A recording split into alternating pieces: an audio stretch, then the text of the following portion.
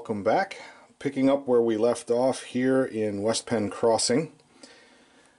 I've worked on a little bit more in the way of scenery and some detail, so we'll cover those things.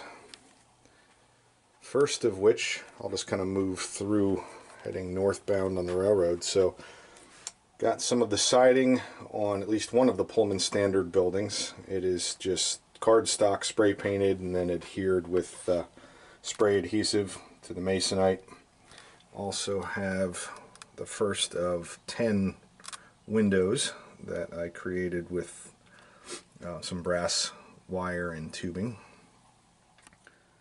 Added some additional details, some 2x4s and some scrap materials. Some of that's glued down permanently, some is just laying there till I figure out exactly where I want everything. Also, uh, a little bit hard to see there, but did some utility poles as well. Some detail here at PPC Lubricants, some 2x4s, pallet, some packaging material, and also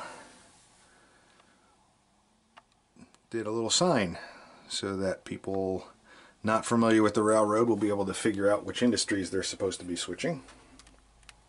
And also made a guide rail, also using phosphor bronze wire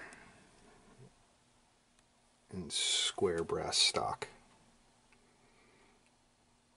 Again, adding some of the details really is helping some of the scenes come together a little bit.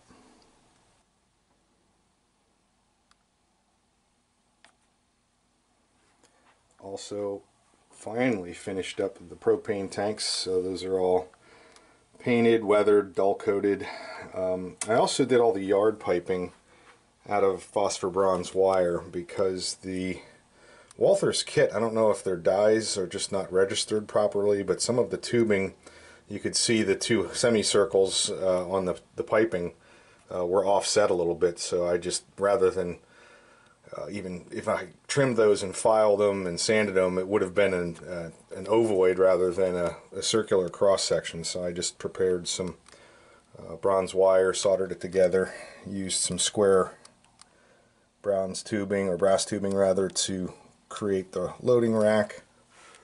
Used some some thick uh, black insulated wire to create the fill and air relief hoses. Pair pair of spare hoses on the ground. Just again some more 2x4s, another barrel.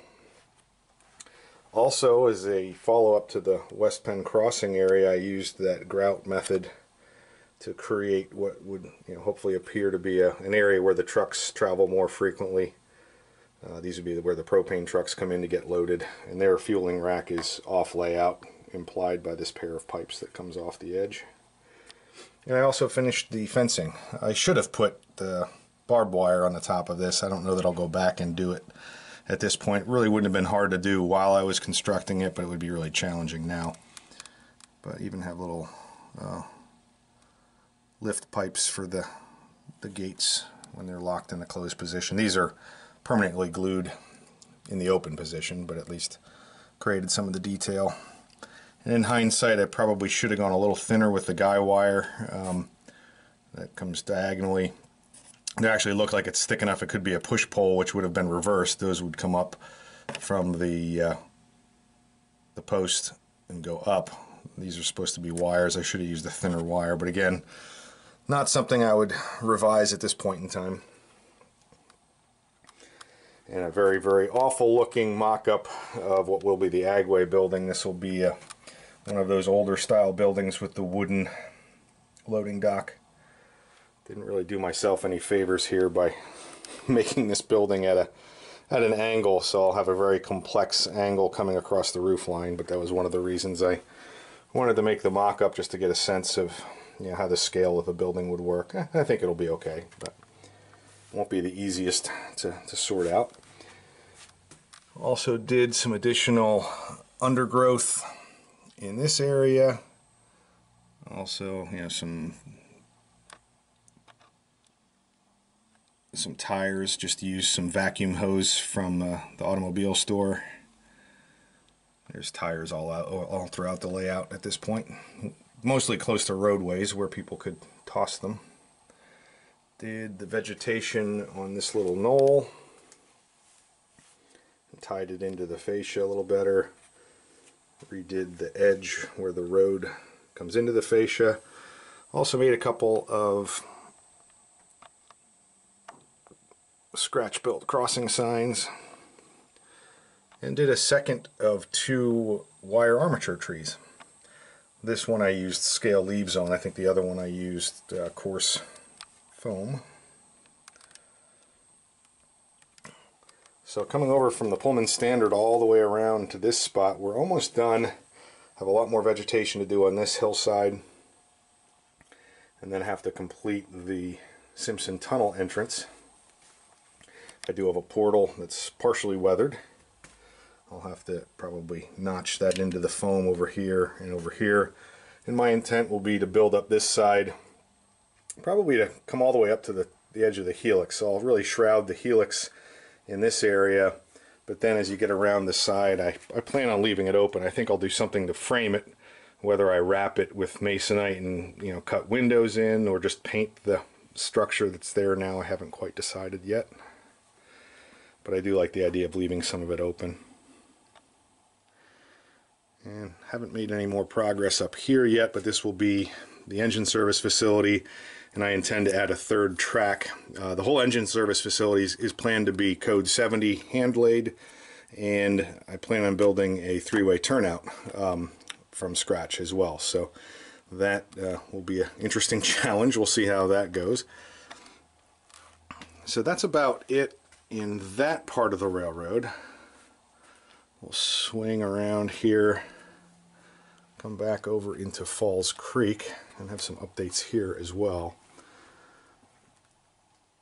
So I think previously, I think previously I had stopped uh, just shy of the retaining wall with the vegetation, so I've now finished that all the way on the back side of the Penn Central tracks. While I covered up a decent amount of the rock outcropping, I think it creates a pretty realistic and nice effect. And here's an area where there's just been enough rock slides that the vegetation really couldn't get established. So now everything on the back side of the tracks is done. I can start working forward. And this spur here where the gondolas are, that serves the Burke Parsons Bowlby creosote plant and that's also intended to be hand laid code 70 as well as the turnout. So naturally I'm going to build my regular turnout first before I try and dip my toe into building a three-way turnout. But one thing I have done is completed and installed my scratch built crossing and this was the, the good news about the crossing. Obviously, unlike a turnout, there's no moving parts. But this was relatively complicated in that this is actually a, a radius and an easement. So it's coming from uh, the B&O main line here is is straight and is a gradual transition into a 23 inch radius which loops around behind the scenery and down into the uh, upper staging yard. So that's a uh, basically a spiral curve on that side and then the Penn Central line is uh, tangent track, so at least one of the tracks was straight. Uh, I'm not even sure what angle uh, intersection this is. Certainly they don't make a template or uh, jig for that.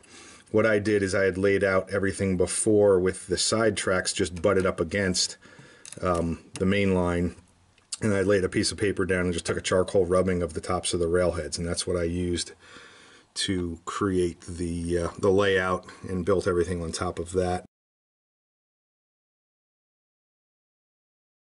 Using print circuit board ties um, for every tie in the center.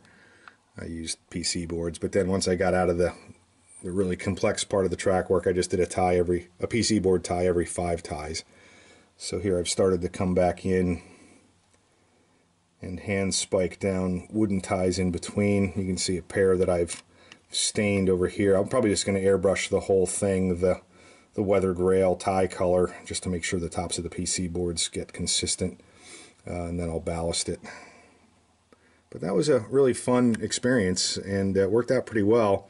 I did come back in, you can see with a jeweler's saw and gap uh, the two intersections of the diamond that would otherwise create a short, and then these two, the polarity is the same um, in terms of of rail to rail. So I still need to come in and put some feeders in because I specifically am going to leave the rail joiners on six of the eight sides loose. The only ones I soldered are on the main line back here because we're in the 23 inch radius. So I soldered those uh, by removing some of the spikes in the flex track, soldered them while everything was straight, and then reflexed the track back around uh, to avoid getting a kink at those two rail joiners. So still need to put in some feeders just to make sure I have continuity. I'm going to leave those two isolated crossings uh, dead. They're very short, uh, and all of my mainline locomotives have capacitors in them, so I don't anticipate any problem as long as I make sure I've got proper feeders to everything else. So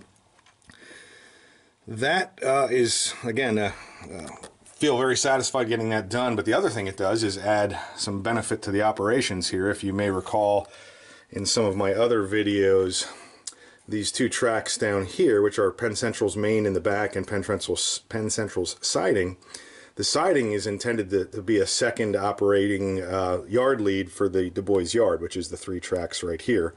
Uh, the other end of the yard can also be operated, but that requires using the B&O secondary main or main number two. Um, so just wanted to have a yard that had flexibility to be operated from both sides and without this crossing being installed, I couldn't get my Penn Central cars back into the staging area. So that was uh, fouling the yard lead down at this end. So that is now resolved.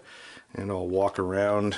I'll have to turn a light on back there, but I'll walk around and show you that the Penn Central staging yard, which represents uh, Brookville, Pennsylvania, and points further west into Ohio, like Ashtabula, Ohio.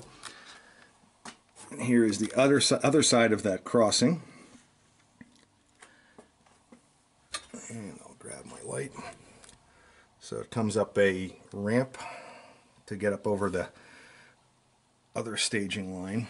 And I used to use shorter shims for my transitions and a viewer a while back had suggested I try using the longer ones and so I've done that here to basically transition down off of the cork which actually softened the grade here which is good. And then there are two tracks here, just one turnout so it's a two-track staging yard. Uh, you can see the second track right there in the back. So it's about 16 cars worth of storage. And I've got my bus wire here and started fabricating my RC filters in a little bit more sophisticated fashion here on a, a piece of uh, perf board compared to my old style, which was a little bit less fancy looking, but still works. So I'll probably transition to, to doing this uh, and replace some of the other ones or rebuild them to, to operate that way. They seem to be a little quieter when they're on a, a perf board because they do make a little bit of a noise. And again, so this lower track here is into the upper staging yard, which is East Salamanca, New York, and points north like Buffalo and Rochester.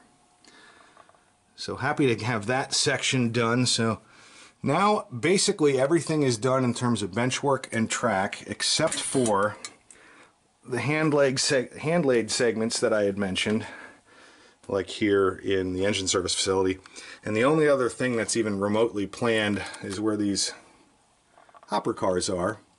That could be the potential uh, future Indiana branch. So that would go behind the steps and then run over top of my workbench. Um, I don't think I'm going to pursue that, as I've mentioned before, until I get everything else done to my satisfaction. So the next chore here, after I finish all the, the feeders and ties and paint and ballast on that crossing, is to install, pull this out. It's right now temporarily flex track. It's not even, not even affixed right now permanently.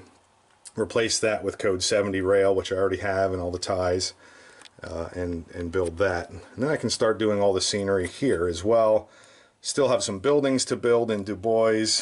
Um, and then I'll put some some ties along here because it was shortly, uh, I'm modeling 74 and I think it was right around 72, 73 when they single tracked a portion of this area by taking out, both railroads took out one of their mains. So they went from having to maintain four diamonds down to one, which certainly makes sense given the environment of railroading in the early 70s. Was uh, interesting as well too that the uh, the tolerances on the guide rails through this crossing uh, worked out pretty well with the NMRA gauge, but when I ran an SD40 through it, uh, one of the axles on one of the trucks just hopped a little bit at one spot. Didn't derail, but you could see it every time it would just kind of hop and lift a little bit. As it turns out, that wheel set was slightly out of gauge, so nothing like a complex piece of track work to uh, manifest an out of gauge wheel set for you. So I was happy that it was a wheel set that was the problem and not the crossing. So that looks like most of the updates for now. And like I said, looking forward to doing some additional uh, hand laid work uh, starting right about here and, and running that out to the Burke Parsons plant. So more to follow. Thanks for watching.